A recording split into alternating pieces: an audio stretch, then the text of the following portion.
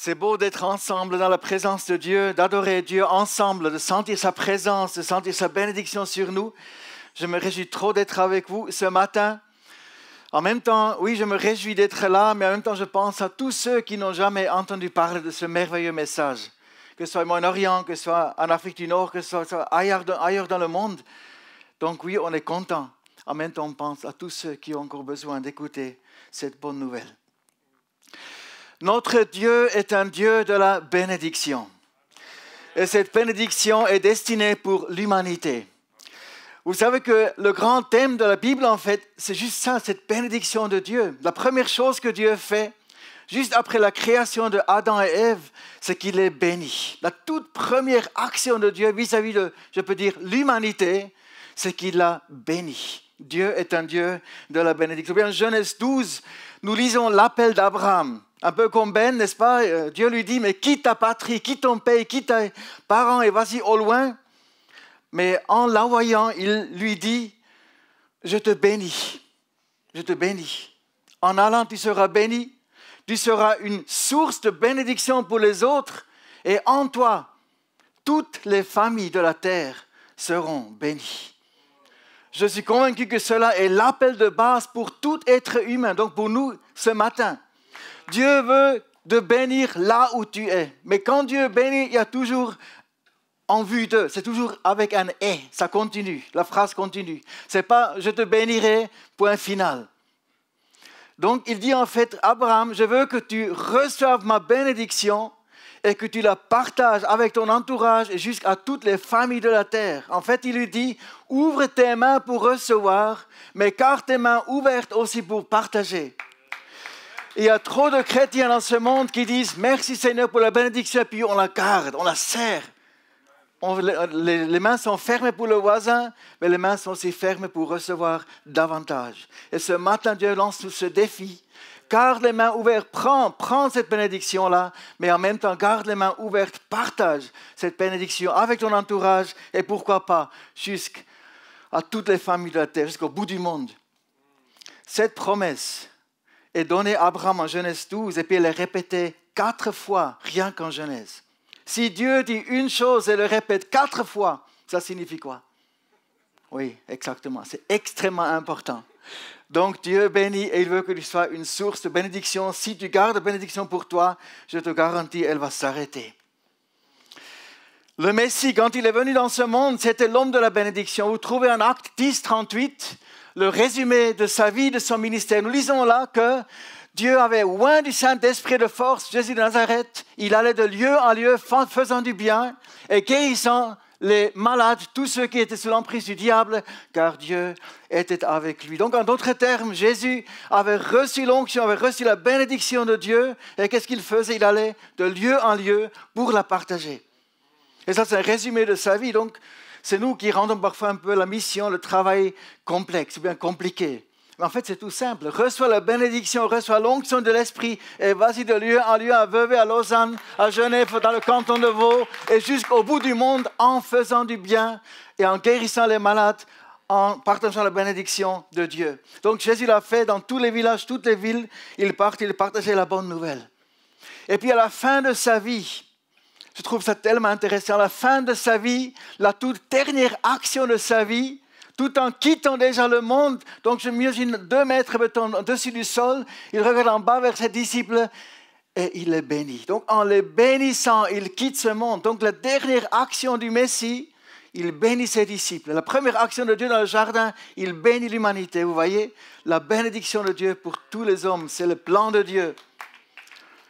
Et puis les dernières paroles de Jésus. Donc Luc 24 nous montre la dernière action de Jésus, mais on ne sait pas comment il a béni ses disciples. Nous trouvons ces dernières paroles en Acte 1.8, parce qu'Acte 1.9 est un verset parallèle à Luc 24. Là aussi, nous voyons que Jésus quitte ce monde. Donc Acte 1.8, c'est les toutes dernières paroles de Jésus. Et qu'est-ce qu'il laisse comme héritage à ses disciples? Il leur dit, vous recevrez la puissance de l'Esprit. Vous recevrez la pleine bénédiction de Dieu. Et vous serez mes témoins à Jérusalem, Judée, Samarie et jusqu'au bout du monde. Ça, c'est la dernière parole de Jésus. C'est son héritage pour son peuple. Donc, en fait, il dit, je vous donne ma puissance, ma bénédiction pour que vous la partagiez avec tous les êtres humains. Mais ce qui est intéressant dans ce verset, c'est quand on regarde le texte original, les termes qui sont utilisés en grec. Il est dit ici, je vous donne la puissance de l'esprit. Le mot qui est utilisé, c'est la dynamite, dynamis en grec, la dynamite. En fait, Jésus dit, je vous donne, imaginez-vous, la dynamite de Dieu. Même la dynamite humaine déjà n'est pas mal. Mais là, c'est la dynamite de Dieu que Dieu nous promet dans nos vies. Cette dynamite de Dieu qui est irrésistible, invincible, qui ouvre toutes les portes, même, celles qui sont faites en fer. Il peut même faire sauter des, montagnes et même les Alpes si on en a besoin. C'est la dynamite de Dieu, irrésistible, invincible. Mais après, il dit, cette puissance, cette dynamite de Dieu vous donne la force pour être mes témoins. En grec, le terme utilisé ici, martus. En fait, la dynamite de Dieu nous donne la force d'être ses martyrs à Jérusalem, Judée, Samarie et jusqu'au bout du monde. Et ça, c'est comme, ouais, c'est comme une contradiction, mais en fait, non, ce n'est pas une contradiction. Dieu manifeste sa bénédiction au monde par la fragilité de l'être humain, par la faiblesse. Et si Ben part en mission, ce n'est pas parce qu'il est un héros ou bien un, un super saint, mais c'est parce qu'il est équipé de l'Esprit pour donner sa vie pour ceux qui ont besoin d'entendre la bonne nouvelle de Jésus-Christ. Alléluia. Donc Dieu passe par la faiblesse et la fragilité de l'homme. D'ailleurs, Jésus lui-même hein, était rempli de l'Esprit, mais à la fin, il a laissé sa vie pour que nous puissions être sauvés. Et parfois, celui qui est envoyé euh, au lointain, il a parfois un billet aller simple. Et parfois aussi, on a le retour, on ne sait pas, mais en tout cas, on est prêt à donner notre vie pour que tout le monde puisse entendre cette bonne nouvelle du salut en Jésus-Christ. D'ailleurs, ça s'est vu dans le livre des Actes, dans l'histoire de l'Église, dans l'histoire de la mission.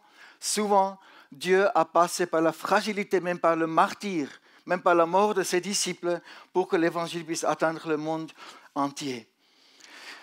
Donc Dieu a une grande vision. Et cette vision de la bénédiction, nous la retrouvons dans le dernier livre de la Bible, en Apocalypse 7, verset 9. Il est écrit que toute nation, toute tribu, toute langue va recevoir la bénédiction en Jésus-Christ. Ils vont tous adorer devant le trône de Dieu. Ça, c'est la finalité de l'histoire. La finalité aussi de l'histoire de l'Église. Nous verrons toutes les nations, tous les peuples, toutes les langues, toutes les tribus adorer Jésus. Donc, ils auront tous accueilli cette bénédiction au milieu d'eux. Mais nous allons passer un pas plus loin. Il y a ce merveilleux verset en Éphésiens 1, 3, où nous lisons que Dieu nous a comblés de toute bénédiction en Jésus-Christ. Vous avez le verset ici. Quand Dieu dit tout, ça veut dire tout. Quand Dieu dit combler, ça veut dire combler. Ça dépasse toute mesure. Donc ce matin, Dieu te dit, en fait, ma volonté pour ta vie, la première volonté pour ta vie, je veux te bénir. je ne veux pas seulement te bénir un petit peu, je te combler de toutes mes bénédictions et aucune qui va manquer.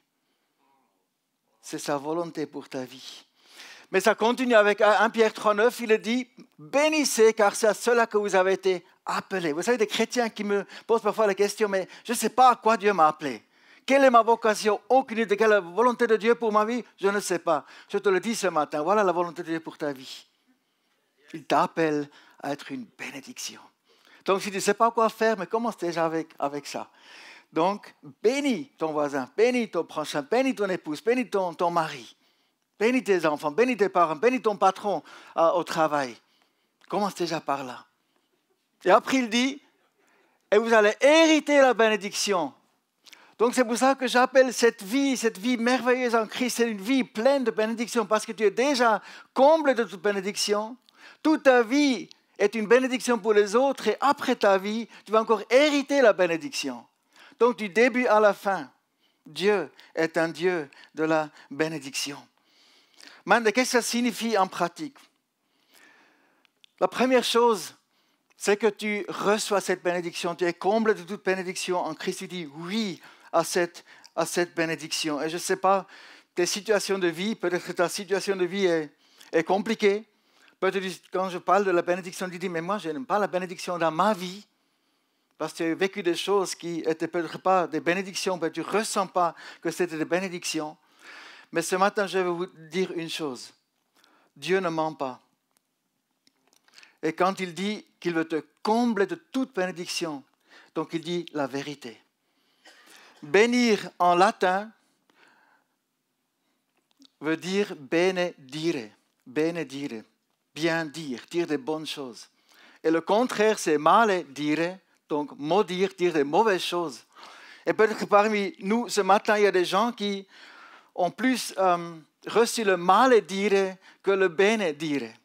Peut-être que tu as eu un, un père qui t'a abusé, peut-être un, un, chef qui se met toujours en colère contre toi, peut-être des étudiants qui te mobent, peut-être qu'il y a un tas de problèmes dans ta vie, tu sens le mal dire dans ta vie plus que le bene dire. Et ce matin, je vais vous dire une chose.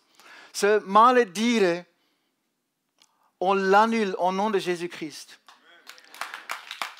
Peu importe ce qui t'est arrivé dans ta vie, ce matin, Dieu déclare le bénédire sur ta vie. Et il remplace tout ce qui s'est fait dans le passé. Il dit, à partir de ce jour, si tu le veux, tu peux recevoir le bénédire de Dieu, la grâce de Dieu, la bénédiction de Dieu, la puissance de Dieu, l'amour, la paix, le shalom de Dieu. C'est ça qu'il a toujours voulu pour toi. Peut-être fais un petit détour par le mal et dire, reviens au bénédire de Dieu, c'est destiné à toi. Alléluia. Et puis Dieu te dit, tu reçois cette bénédiction, je te comble de cette bénédiction pour que tu la partages plus loin. À partir de ce jour, Dieu veut que tu bénisses ton entourage. Alors, tu me dis peut-être, mais tu ne connais pas ma situation, elle est compliquée. Oui, peut-être elle est compliquée. Sachez qu'un Pierre a été écrit dans un contexte d'adversité, de persécution même. Et là, Pierre dit, mais ceux qui vous persécutent, ceux qui vous maltraitent, bénissez-les. Donc même si tu es maltraité par quelqu'un dans ton entourage, commence quand même par les bénir. Et tu verras que la situation change. Quand tu obéis à la volonté de Dieu, la situation va changer. Tu déclares dans le monde invisible à partir d'aujourd'hui, oui, mon chef est compliqué, oui, mon épouse est compliquée, oui, mon papa m'a blessé, mais je le bénis au nom de Jésus-Christ. Et tu verras les choses vont se débloquer. Donc, Dieu t'a mis dans une certaine place, dans un certain endroit, pour que tu sois une bénédiction. Dans ton entourage, là où tu es, il n'y a pas le pasteur avec toi. Pasteur Blaise ne peut pas être là où tu es. Là où tu es, c'est Dieu qui t'a placé pour que tu sois une bénédiction. Donc, dans ton entourage, dans ta famille, dans ton voisinage, là où tu étudies, là où tu travailles, c'est toi le pasteur de ceux qui t'entourent. C'est toi qui as appelé à leur montrer cet amour de Dieu. Donc tu es le pasteur de tous ceux qui ne viennent pas ici, dans cette salle, pour écouter la parole de Dieu. Donc ça commence par ces petits gestes où je dis, voilà, je suis prêt, je veux partager cette bénédiction-là.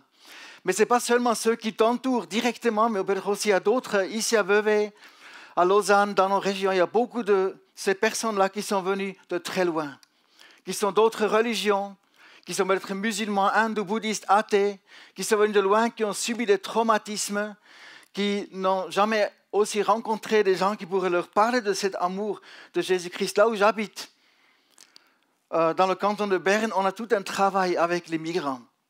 Et ce qui me touche souvent, il y, a chaque fois des gens qui viennent à la foi en Jésus-Christ.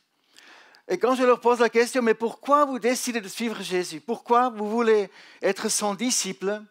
Il n'y a jusqu'à présent aucune personne qui m'aurait dit c'est à cause des débats théologiques que je suis décidé à suivre Jésus. Ou bien c'est vos beaux arguments, vos bonnes théories qui m'ont convaincu. Je n'ai jamais vu ça. Presque chaque fois, c'est une personne, ou bien deux personnes, ou bien trois personnes qui ont décidé de bénir ces personnes-là, qui ont fait des petits gestes d'amour et vous ne savez pas, vous vous rendez pas compte combien même un petit sourire, même un petit geste d'amour peut transformer des vies. Je vous donne un ou deux exemples. Il y avait une femme qui venait dans nos rencontres chaque fois. Elle a donc fait cette route euh, typique par la Turquie, la Grèce, route des Balkans jusqu'en Suisse. Et puis euh, elle est arrivée en Grèce et n'avait rien, elle avait tout perdu avec son petit, son fils. Et puis là, elle tombe sur des chrétiens qui lui montre juste la gentillesse, l'hospitalité, partage les repas, donne des habits, des choses tout simples. Elle continue par le Balkan, elle arrive en Suisse, à Kreuzlingen, donc à l'est de la Suisse, la même chose. Premier contact, c'est les chrétiens. l'invitent chez, chez, eux, partagent le repas. Après les transfert au canton de Berne, même chose. Tombe à nouveau sur les chrétiens qui, qui, passent du temps avec elle et tout ça. Très rapidement après son arrivée, elle vient dans nos rencontres. Et après quelques semaines déjà, elle demande le baptême. Et lors de l'entretien de baptême, je lui pose la question, et pourquoi tu veux te faire baptiser? Elle me dit, mais en Grèce, les chrétiens étaient tellement bons envers moi. À Kreuzlingen, les chrétiens étaient tellement bons envers moi. J'ai arrivé au canton de Berne, les chrétiens m'ont tellement montré l'amour. Si leur Jésus, si ceux qui suivent Jésus sont tellement gentils, combien leur Jésus doit-il être gentil? Je veux le suivre aussi.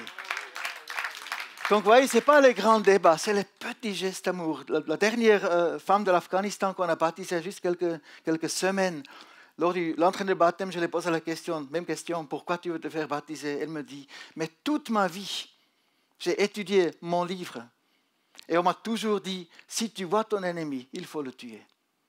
Depuis que je suis venu dans, vos rencontres, j'entends parler d'un Dieu qui pardonne, qui réconcilie, et ceux qui le suivent, qu'il pardonne à leurs ennemis ça veut suivre ce Dieu d'amour. Elle s'est fait baptiser. Donc, vous voyez, ce n'est pas, pas les grandes théories. Et parfois, en tant que chrétien, on se sent comme, comme dépassé. Qu'est-ce que je vais dire? Qu'est-ce que je vais répondre à leurs questions? Non, ne vous gênez pas. Montrez-leur l'amour, priez pour eux, partagez la bénédiction de Dieu par les petits gestes et vous allez voir comment Dieu lui-même ouvre des portes. Donc, soyez le pasteur là où vous êtes, dans votre entourage, dans votre famille. Soyez aussi le pasteur pour les migrants en Suisse Souhaitez-leur la bienvenue en Suisse. C'est votre appel de les bénir. Mais puis aussi, il y a donc aussi ce travail globalement. Tu es une source de bénédiction, oui, pour ton entourage, oui, pour les gens d'autres cultures dans notre pays. Mais vous savez, dans le monde, il y a des peuples entiers, il y a des grandes villes entières qui n'ont pas un témoin de Jésus-Christ au milieu d'eux. Quand j'avais 17 ans, ça fait un bout de temps, ça m'a frappé. J'avais 17 ans et j'ai compris qu'en fait, je suis tellement privilégié dans mon pays, dans ma famille. J'ai reçu cette bénédiction de Dieu en Jésus-Christ. Et c'est la première fois que j'avais entendu parler à l'âge de 17 qu'il y a des grandes régions dans le monde qui n'ont jamais eu un messager de l'Évangile. Et là, j'ai dit à Dieu, je te donne ma vie, utilise-la pour la gloire de ton nom parmi les nations. Et quand vous priez comme ça, Dieu vous prend au sérieux donc, euh, il m'a conduit vers un endroit dans le désert au Niger où il n'y avait jamais eu un témoignage du Christ. Et donc, depuis des dizaines d'années, oui, je peux dire maintenant, plus que 30 ans maintenant, on est dans ce travail-là avec ma famille à l'étranger euh, pour que les gens puissent entendre la bonne nouvelle de Jésus-Christ. Je me rappelle d'un événement, d'une expérience que j'ai faite. J'ai visité un ami. Et pendant ma visite chez lui, il y avait sa grand-mère derrière lui, à l'ombre. Et pendant toute la durée de ma visite, cette grand-mère répétait un seul mot. Elle disait pardon, pardon, pardon, pardon, pardon. un petit chapelet, elle glissait les grains par ses mains en répétant ce mot. Et après à peu près deux heures de temps, elle a dit pardon, pardon des centaines et milliers de fois. Je me suis tourné vers elle et j'ai posé la question Maman, maintenant tu as demandé des milliers de fois que Dieu te pardonne. Est-ce qu'il t'a pardonné? Vous savez ce qu'elle a dit? Je ne sais pas. Peut-être. Peut-être. Et ça m'a tellement frappé. Vous savez, le monde n'est pas en paix. Le monde est affamé de connaître le pardon, le shalom, justement la bénédiction de Dieu. Et cette bénédiction n'est seulement pleine que si elle est en Jésus-Christ. Et c'est pour ça que nous avons un message pour ce monde. Nous avons un message. Ce n'est pas parce que nous sommes mieux que les autres. Ce n'est pas parce que nous nous sentons supérieurs que les autres mais c'est parce que nous avons un message. Nous avons un Dieu qui transforme, un Dieu qui bénit, et il veut que cette bénédiction soit partout dans ce monde. Donc tu es comble de toute bénédiction en Christ. Ton appel, c'est de bénir les autres. Tu seras une source de bénédiction. Et après avoir fait tout cela, tu vas hériter la bénédiction. Dans toute l'éternité, tu vas vivre dans cette présence d'un Dieu qui n'arrête pas de te bénir.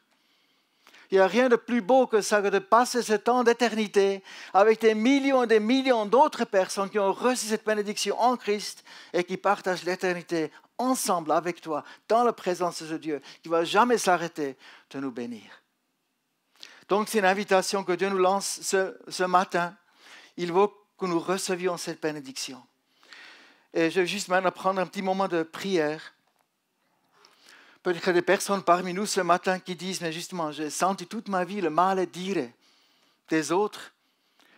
Mais peut-être ce matin, Dieu te dit, mais accepte le bénédire de Dieu.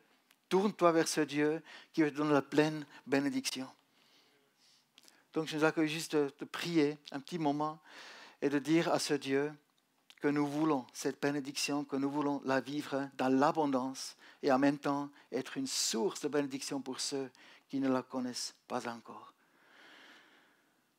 Tu peux prier avec moi dans ton cœur si tu le souhaites. Oui, notre Dieu, nous te remercions parce que tu es un Dieu de la bénédiction.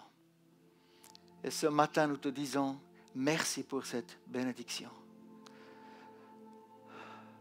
Et ce matin, nous disons non à toute malédiction au nom de Jésus-Christ. Nous disons non à un passé qui était plein de blessures, plein de, problèmes, plein de complexité. Nous revisons ces choses au nom de Jésus nous voulons maintenant accueillir ta bénédiction. Comble-nous de ta bénédiction et fais de nous une source de bénédiction. Là où tu nous as placés, parmi les gens d'autres cultures, notre entourage, et jusqu'à ce que toutes les familles de la terre reçoivent cette bénédiction en toi. Merci Seigneur. Merci Seigneur. Nous voulons accueillir aussi le Saint-Esprit qui est un Saint-Esprit de la bénédiction, de la puissance, de la dynamite de Dieu, qui change les situations, qui transforme des êtres humains, qui transforme des nations. Nous t'accueillons, Saint-Esprit, que tu transformes nos vies et que tu transformes ceux qui sont autour de nous. Merci Seigneur.